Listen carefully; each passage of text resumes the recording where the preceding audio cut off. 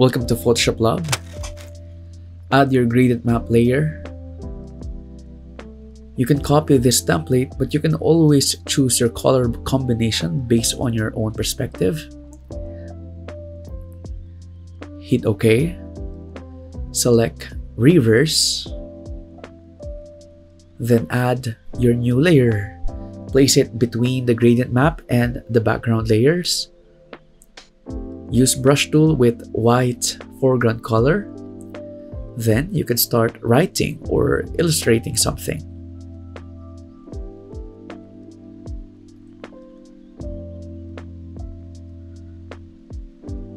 Convert this layer into smart object.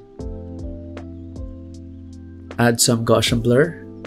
I think 15 is okay for this sample.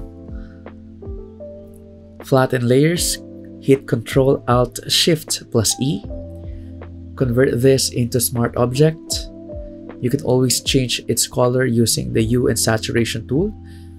Shortcut key Ctrl U.